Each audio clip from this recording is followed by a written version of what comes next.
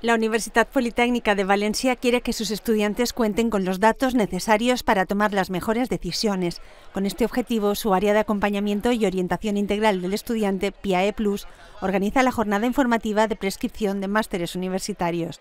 Con 450 estudiantes participantes, la jornada ha completado el aforo y ha dejado lista de espera. Pues la verdad es que agradecemos a todos los DAD de máster que hayan venido y por supuesto a todos los estudiantes porque nos han dedicado su tiempo, que es muy valioso.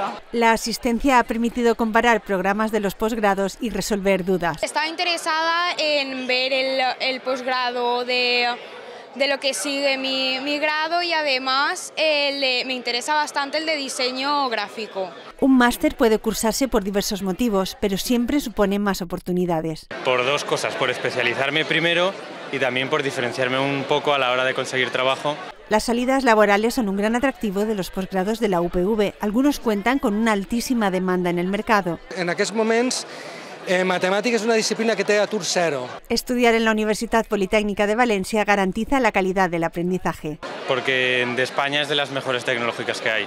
Desde el campus de Gandía y Alcoy también han presentado sus másteres en esta jornada. Estos campus ofrecen un valor diferencial que se añade a la excelencia de la formación en la UPV. Es estar en un campus chicotet de una gran universidad. Desde el 1 de marzo hasta el 3 de mayo está abierto el plazo de prescripción para más de 50 másteres universitarios en la Politécnica de Valencia. Toda la información está en la página web upv.es.